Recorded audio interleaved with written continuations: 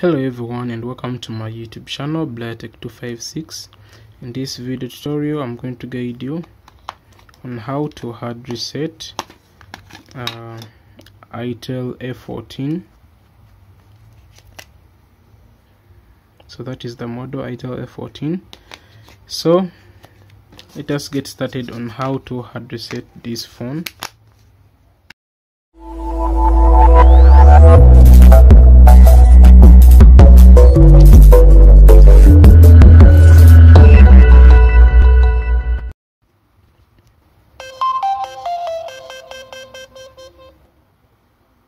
okay.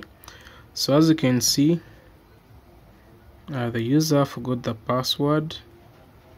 As you can see that it has a password. So let us get straight to the point on how to hard reset this phone and remove the password. So go ahead and turn off the phone. Go ahead and power it off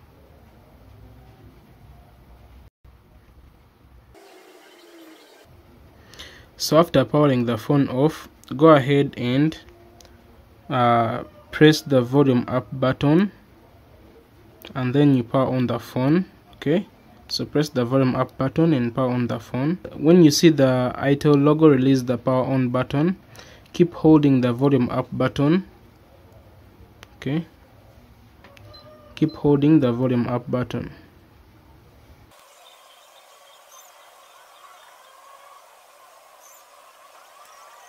so you'll be able to see the factory reset menu.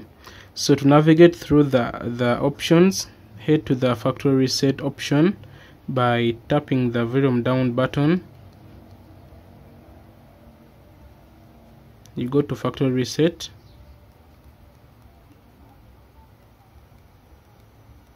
Then you press the volume up button to accept. You wait for it